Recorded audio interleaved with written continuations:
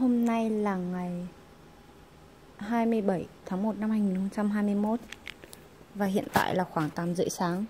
Mình đang đi thăm vườn hoa Stock hay còn gọi là hoa Hoàng Anh trong tiếng Việt. Và vườn hoa này bọn mình trồng trong tiết thực hành. Tất cả là có 4 luống nha. Và khi mình trồng giống ấy, là giống uh, lẫn lộn ấy. Mix sự gọi là mix nhiều loại nhiều màu hoa khác nhau. Mọi người có thể nhìn thấy này màu hồng này. Cái này là hơi phớt phớt hồng hơn. Còn có một loại là trắng tinh luôn đây như loại này. Hoa trắng tinh này. Xong lại màu hồng tím tím tím.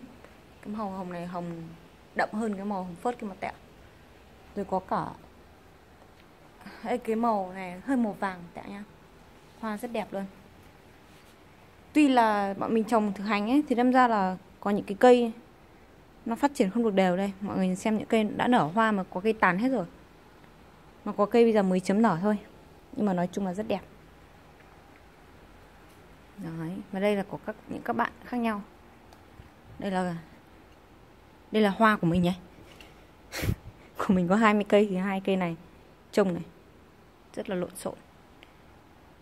Bọn mình trồng để xem tất cả là trồng 20 cây, mình tự chọn khi mà nó mới ra hai là con ấy, để xem là hoa nó sẽ nở nhiều cánh hay là nở ít cánh. Đây, cái loại này là nở ít cánh này và cái loại này là nở nhiều cánh này và khi bán ra chợ ấy, thì cái loại một cánh à quên, không phải là một cánh, loại một lớp cánh, bốn cánh, với cả loại nhiều cánh này, là giá nó hoàn toàn khác nhau luôn. Cái loại ít cánh này thường thì sẽ không bán được giá cao hoa rất là thơm thơm ơi thơm luôn mình trồng thì cây không được đẹp cho lắm đây. Mấy cả do cô ấy nâng cái lưới này lên chậm này thì đâm ra là cây nó bị vẹo. Mình xem cây này nó bị vẹo hết rồi. Đó thế còn đây là của các bạn trồng. Đẹp. Siêu chưa? Đẹp. Ừ, thơm ngát luôn. Đấy, cả một vườn. Mỗi bạn trồng 20 cây. Mình thích cái màu tím này. Màu tím này Trông đẹp.